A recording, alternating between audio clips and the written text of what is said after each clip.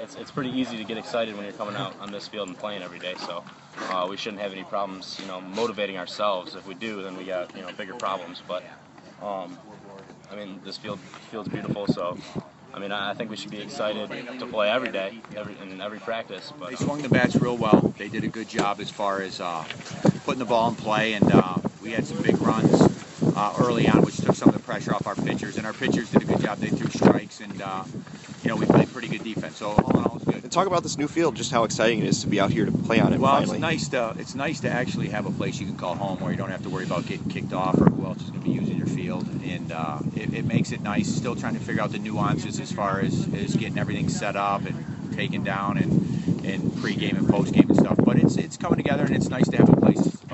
We did a decent job in our scrimmage a couple days ago, but uh, today we didn't really. Uh, I didn't think we played real well defensively. We didn't pick up a few balls, and uh, that led to extra outs. You know, and you can't give a team like that extra times at bat because if you do, they're just going to pound you. And uh, as you saw today, they pretty much uh, did that to us with the two games. It's it's a situation where we just have to learn from our mistakes and keep going. You know, it's early.